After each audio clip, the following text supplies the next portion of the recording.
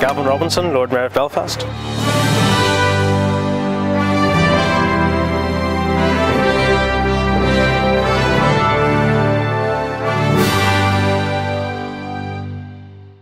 Invested uh, £3 million from our uh, investment package for the City of Belfast and we thought it was an appropriate time not only uh, in advance of the World Police and Fire Games but having just celebrated 40 years of Dame Mary's success and this track embodying all that was great about the inspiration of her sporting achievements and we thought it was important at this stage uh, to reinvest uh, not only in the potential of this site but in the potential of the young people who will come here and enjoy athletics in the City of Belfast. We've got a, a track now which uh, is a replica of and that same standard standard the one used in the Olympic Park in London. It's state of the art and we're providing the best facilities you can have for athletics here in Belfast. Uh, we're standing in a stand uh, which is covered, uh, which will be adequate for all of those athletic meets that we hope to attract to the city and for those that have been here for many years but haven't had uh, such surroundings in which to enjoy their sport. Um, in doing this we hope it will inspire many young children uh, and clubs and societies and individuals in the city who are keenly interested to develop as best they can be and perhaps we'll get Olympic gold again in the future. If we didn't have uh, an upgrade in the track,